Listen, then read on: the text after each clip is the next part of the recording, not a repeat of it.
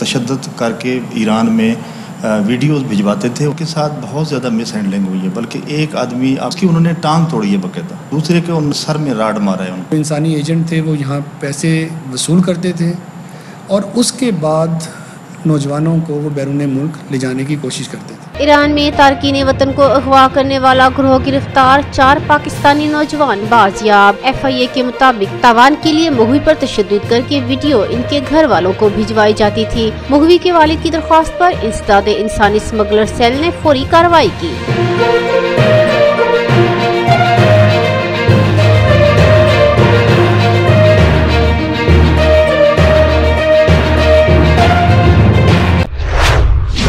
नवाज़ शरीफ जो है, वो उसकी तकरीर से इमरान खान का नाम निकाल दिया जाए तो उसमें क्या था?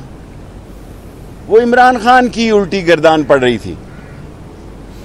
और कह रही थी कि नवाज़ शरीफ खून के आँसू रो रहा है। भाई, मैं सुबह सवार वाले दिन मिनिस्ट्री खुलती है तो इजाज़त देता हूँ।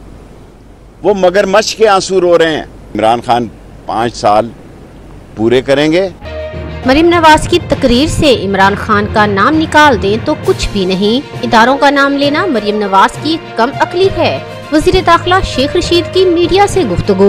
कहा, नवाज़ शरीफ खून के नहीं, मगर मच के आँसू रो रहे हैं। कोई गलत फहमी में ना रहे, इमरान खान मुद्दत पूरी करेंगे। शेख रशीद का मुल्क में महँगाई बढ़ने का एतराफ, बोले, पूरी कोशिश है, काबू पाया जाए। वज़ीर दाखिला शेख रशीद की डॉक्टर कदीर के घर जाकर फातिया खानी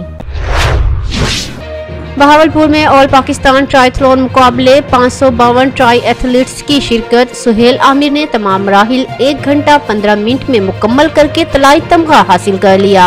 मुकाबले 300 मीटर तैराकी 20 किलोमीटर साइकिलिंग और 10 किलोमीटर क्रॉस कंट्री दौड़ पर मुश्तमिल थे।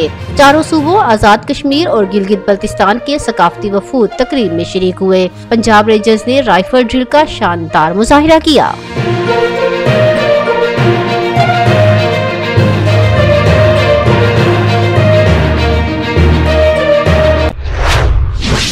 फोर्टबास में हरुणाबाद रोड पर मोटरसाइकिल और ट्रैक्टर ट्राली के दरमियान तसादुम। हादसे में दो अफराद मौके पर जाँ बहक। रेस्क्यू के मुताबिक नाशों को T H Q fort Abbas मुंतकिल कर दिया गया। हादसा 1697 आर के करीब पेश आया। हादसे में जाँ बहक अफराद की शिनाख्त मोहम्मद इफ्तार और मोहम्मद राफे के नाम से हुई।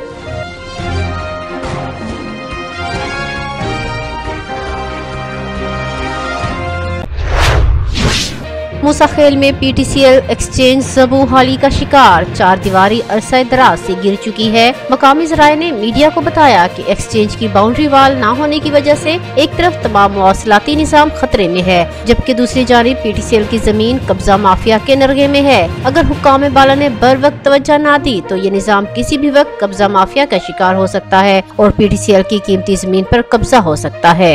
ये डिस्ट्रिक्ट मुसाखिल का एक्सचेंज है। इसका ये हालत है। दीवारी करीबन 10 बारह ग्यारह साल से पहले जो है गिर गई है। इसका ये हालत है। ना इसमें कोई सिक्योरिटी का इंतज़ाम है, ना कुछ है। ये भी मेन एक्सचेंज है मुसाखिल का। अभी इसका में जो है ना मुबलिंक है चिनार है यूफोन है यू है पिक्सल है। लिहाजा इससे लिंक रखते हैं। लिहाजा इसका भी ये हाल है। पोल्ट्री का ये हाल है। सारे वो बकरियाँ जो है ना अभी ये लोग हम डरते हैं कि ऐसे ना हो कि कोई लोग कब्ज़ा करे इसमें।